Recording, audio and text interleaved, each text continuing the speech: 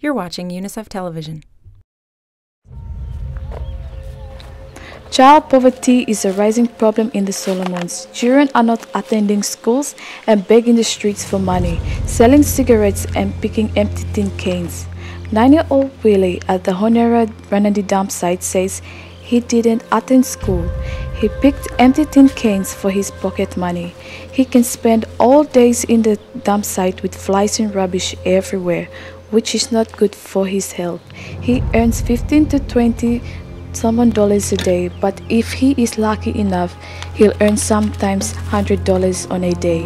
All of Willie's hard work is to put bread and butter on his family's table at the end of the day.